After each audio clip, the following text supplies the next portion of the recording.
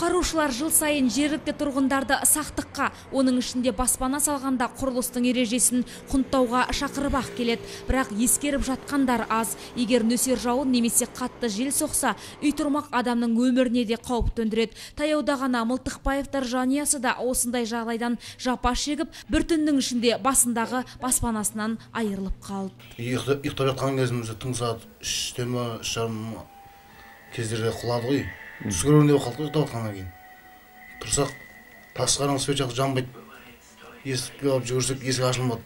Сонымен терезені сындырып шықтық қой үйден біз. Соны сосед екі жақтағы соседіміз көршіміз жүгіріп келді. Алтынбай рауан амансыңдар ма не болды өзі деп. Сонымен ағам тұрып «Е, аманбыз аманбыз сонымен алмай жаңағы терезені сындырып шықтық қой түнделетіп. Сөйтіп осы жаңағыдай осы жерге жаңағы соседтердің үйіне бардық жаңағы.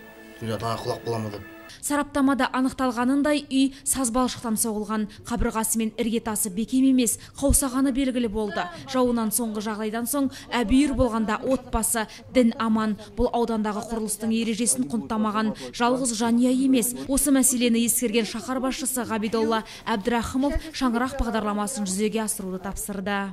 Город должен быть городом, с широкими проспектами, қала қала болуы тиіс. Енді шымкенттің көркі барлығымыз үшін маңызды болады. Мысалы бір үйлер көшеден алыс орналасса екіншісі тіпті тротуарға шығып кеткен. Көпқабатты үйлер түрлі түстерге боялған. Енді барлық үйлер тиісті талаптарға сай салынады.